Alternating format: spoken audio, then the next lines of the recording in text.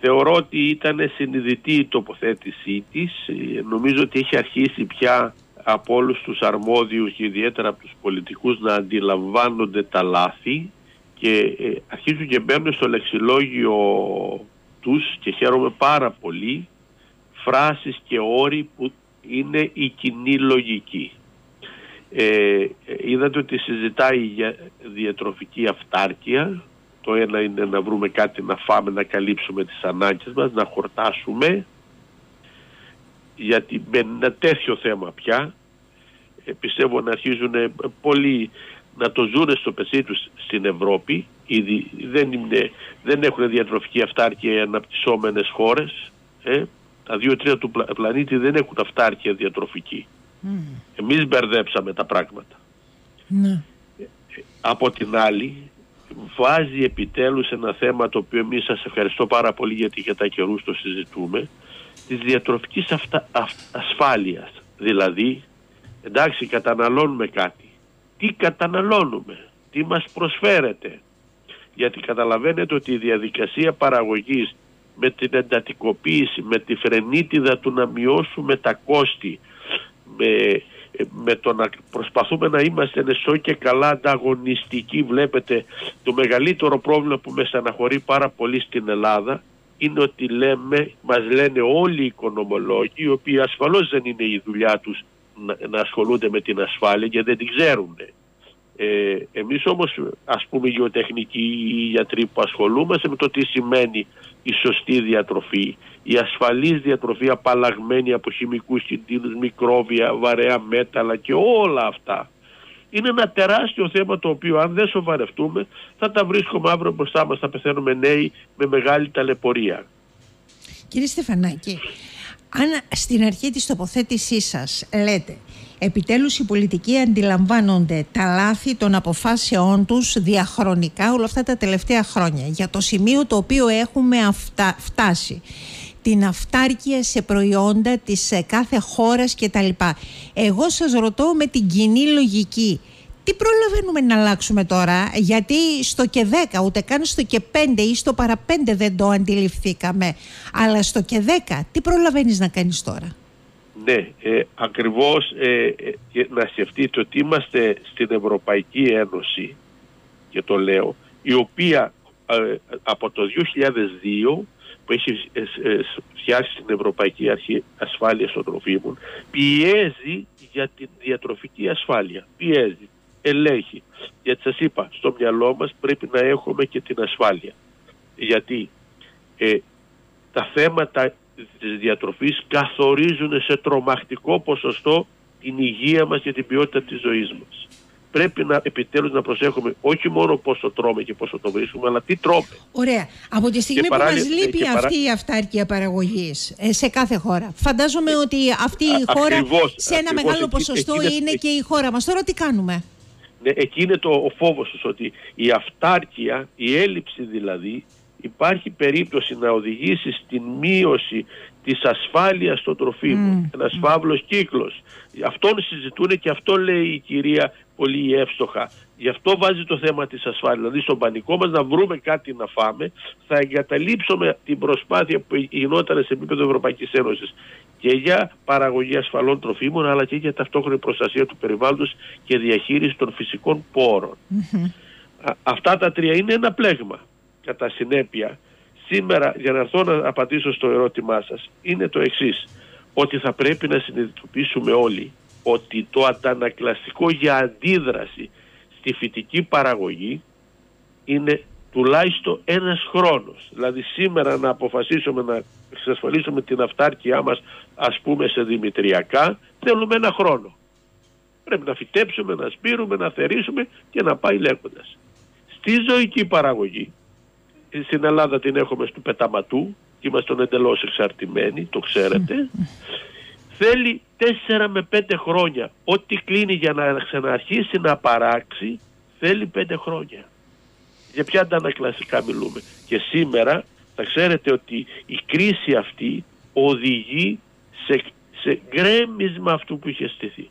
Δηλαδή να, να σας πω ότι συζητείτε ότι έχει σφάξει πάνω από 500.000 χειρομητέρες η Γερμανία. Σας λέω ένα, ένα, ένα κρέα το οποίο, από το οποίο είμαστε εντελώς εξαρτημένοι. Έχουμε, έχουμε, δεν έχουμε μια αυτάρκεια 25% σαν χώρα. Είναι τρελά τα νούμερα αυτά. Ναι, ναι. Αντιλαμβάνεστε τι μέλη γενέστε. Ε, τι να πω τώρα, και με τι κίνητρα και πώς καθορίζεται αυτή η πολιτική. Μια πολιτική που θα την καθορίσει κάθε χώρα για τη δική της την αυτάρκεια και να δει πώς θα βοηθήσει και πώς θα το κάνει. Αν ξέρει να το κάνει υπό τις οδηγίες των Ευρωπαίων, αυτό το όλοι μαζί μπορούμε να βρούμε λύσεις. Ακαλά ακούγεται θεωρητικά, στην πράξη λοιπόν κολλάμε όπως λέτε εσείς, αλλά το θέμα είναι και τι αποφάσεις λαμβάνονται για να βοηθήσεις αυτόν που θέλει τον ένα χρόνο φυτική παραγωγή ή τα πέντε χρόνια ζωική παραγωγή έτσι ώστε να έρθει να σου παράξει και να σου φέρει αυτά τα οποία χρειάζεσαι. Ακριβώς. Και είναι, θα σας είναι πω, διατεθειμένοι να, το κάνουν. Θα σας πω ένα παράδειγμα. Προσέξτε. Είναι ένας κτηνοτρόφος αυτή τη στιγμή. Στην Κρήτη. Ένας προβατοτρόφος. Έχουμε την πολυτέλεια να έχουμε υπερεπάρκεια. Και αυτό μας δίδει και μια ασφάλεια, θα ξέρετε. Και να λέμε ένα ευχαριστώ που τα έχουμε φτιαγμένα και δεν εγκαταλείψαμε το, το, το πρωτογενή μας τομέα στην Κρήτη παρά την πολύ δυνατή και καλά το κάναμε εξέλιξη του τουρισμού. Δεν γίναμε μονόπλευροι όπως γίνανε σε άλλες περιοχές. Ωραία. Πώς θα καλλιεργήσει; Mm. πανάκριβα τα πετρέλαια, πανάκριβα τα λιπάσματα, πανάκριβοι σπόροι. Πώς θα ταΐσει τα ζώα του για να γεννήσουν, για να βγάλει γάλα; Πανάκριβες οι ζωοτροφές. Ωραία. Είδατε να βγουν να πούνε παιδιά, δύο λεπτά. Θα πρέπει να πάμε να συζητήσουμε με τις τράπεζες να δοθούν κάποιες ευκολύσεις, να δοθούν κάποια χρήματα για να μπορέσει να κινήσει, να ξεκινήσει ο τροχός, να συζητήσουμε στη βάση, το να πηγαίνουμε να διαμαρτυρόμαστε, να μας δίνουν μια ενίσχυση κανένα πεντακοσάρικο ή κανένα χιλιάρικο σε ευρώ. Δεν σώζει μια κτηνοτροφική εκμετάλλευση σοβαρή. Και καταλαβαίνετε τι λέω. Καταλαβαίνω αυτό που λέτε κύριε Στεφανάκη ότι ζητάτε από τους ίδιους τους παραγωγούς να ξεκινήσουν ναι, μια αλλά σοβαρή διεκδικητική πορεία. Όχι, όχι, μισό λεπτό. Τους καλείτε όμως και τους λέτε δεν φτάνουν αυτά που ζητάτε με τα 500 ή με τα 1000 ευρώ ενδιάμεσα ως μορφή επιδόματος. Αλλιώς πρέπει να το δείτε το πράγμα για να καταφέρετε και να τους πείσετε και να τους πιέσετε από την άλλη έτσι ώστε να υπάρξει αλλαγή πολιτικής και φιλοσοφίας μέσα στην επόμενη πενταετία να ενισχυθεί η παραγωγή πολύ περισσότερο και για να έχουμε αυτή την περίφημη αυτάρκεια. Εγώ αυτό αντιλαμβάνομαι. Ε, ακριβώς αυτό λέω γιατί ξέρετε με το να υπάρχει ο τρόπος χρήσης των επιδοτήσεων και να ε, χαρακτηρίζομαι διάφορους που είναι αγρότες, μη αγρότες κτλ. Μέσα από αυτή τη διαδικασία, επειδή είναι πάρα πολλά τα χρήματα και δίνονται, μέσα σε αυτή τη διαδικασία υπάρχουν άνθρωποι οι οποίοι δεν έχουν και ιδιαίτερα σημαντικές κτηνοτροφικές ή γεωρικέ εκμεταλλεύσεις γενικότερα. Mm. Καταλαβαίνετε τι εννοώ. Mm. Αυτοί όταν πάρουν το επιδοματάκι τους είναι ευτυχισμένοι. Τι κάνει ο πραγματικός παραγωγός και πώς θα τα απεξέλθετε; Αυτό είναι το θέμα και εκεί πάνω πρέπει να στύψουμε σαν κοινωνία όλοι μαζί. Από κάτω πρέπει να ξεκινήσει. Γιατί ε, πόσα κοινωνία. Όταν εγώ δεν παράγω, γιατί να ασχοληθώ, θα σου πει ο άλλος. Το ακούω με πολύ ενδιαφέρον, μα, πιέζω, μα, επιλέγω, μα είναι ευτυχισμένο αυτό που, που δεν, σήμερα δεν παράγει.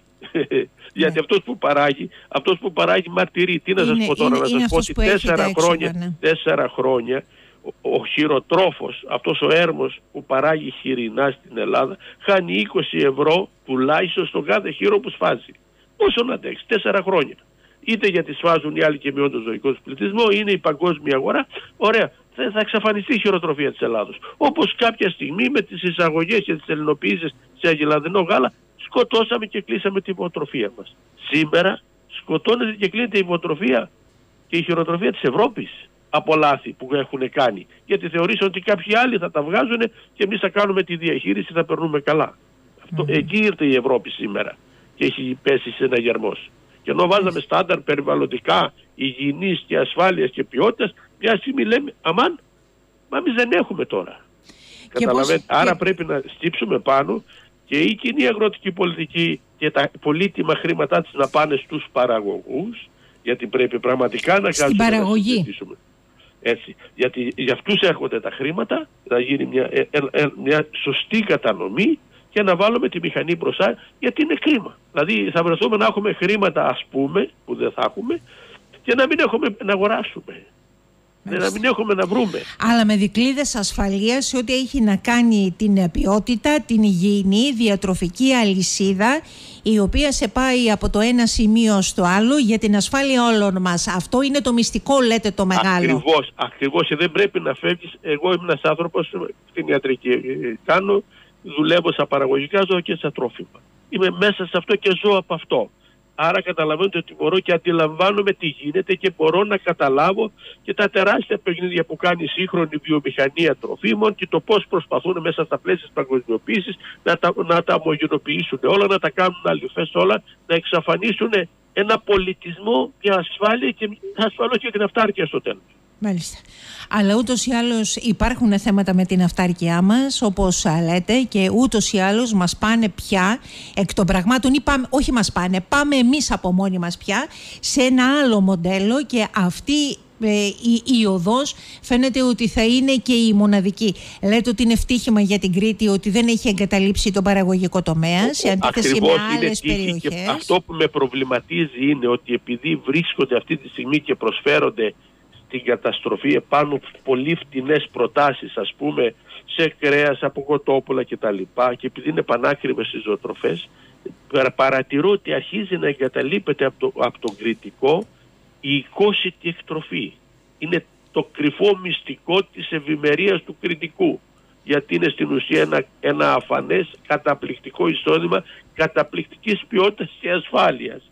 Και αυτό πάει σιγά σιγά πίσω έχουμε εγκαταλείψει και αυτή τη διαδικασία. Μα από τη στιγμή που εγκαταλείψαμε το χωριό, να βάλω τα 20 μου πώς στο χωριό, πρέπει να επιστρέψω στο χωριό, πρέπει να έχω το κίνητρο για να ζήσω στο χωριό.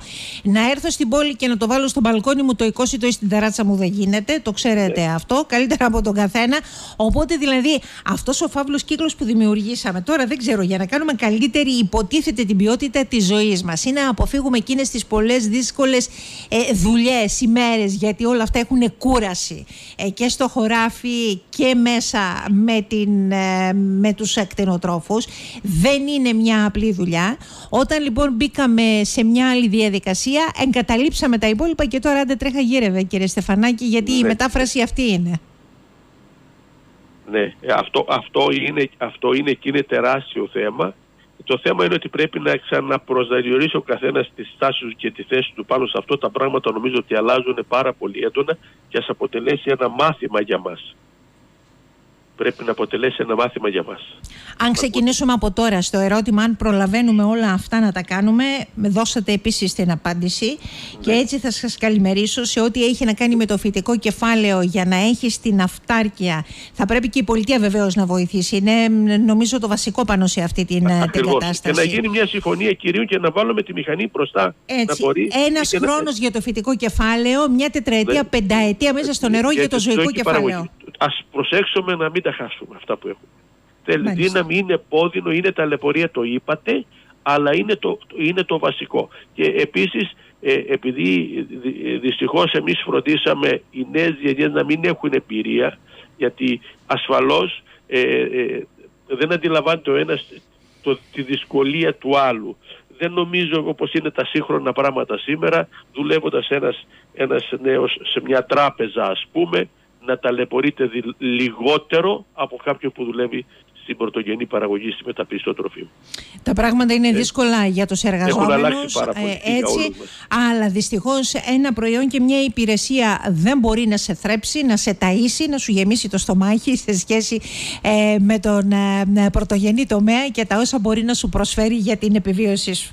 Νομίζω είσαστε απόλυτα κατατοπιστικός και πολύ καλός στη μετάφραση αυτών που μας είπε η Ευρωπαία Επίτροπος Υγείας και Ασφάλειας Τροφίμων, η κυρία Κυριακίδου.